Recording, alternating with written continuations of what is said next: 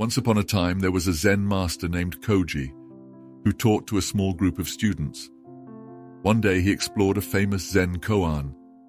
He began, I shall share with you a fascinating story, a story that explores the depths of our perception and challenges our understanding of reality.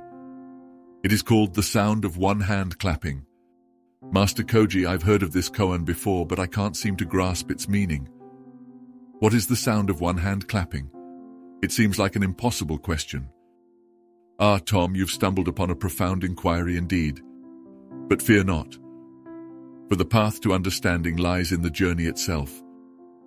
Allow me to share the story with you. Long ago in ancient Japan, there was a young monk named Sosan. He too struggled to comprehend the meaning of this koan. So he sought the guidance of his master, Zen Master Hakuin.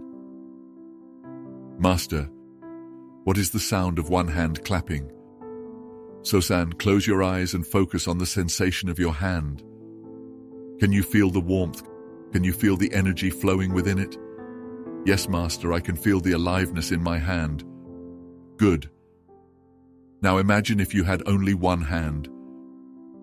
Can you still sense the energy? Can you perceive the sound it creates? But Master, how can a hand make a sound without clapping against something? Precisely, so, Sosan. The sound of one hand clapping cannot be heard with the ears alone. It transcends the physical realm. It is the sound of pure awareness, the sound of existence itself. So the sound of one hand clapping is not an actual sound but a metaphor for something deeper? Exactly, Tom. It represents the nature of reality that Zen practitioners seek to uncover. It challenges us to go beyond our conditioned thinking and perceive the world with fresh eyes. In Zen, koans like this are used as tools to awaken the mind, to break through the limitations of conceptual understanding. But how can we reach that level of understanding, Master? Through direct experience, Tom. The journey is not about finding a logical answer, but rather about experiencing a profound shift in consciousness. It is about transcending duality and realizing the interconnectedness of all things. The principles of Zen are woven into this story. They teach us to let go of our attachments to concepts and judgments, to embrace the present moment fully.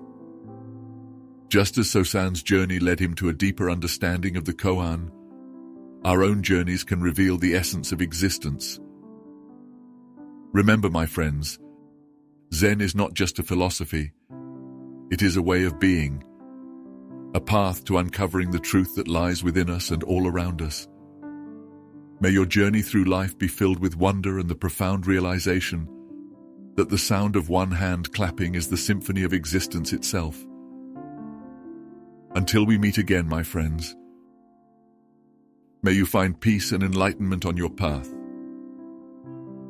Be well.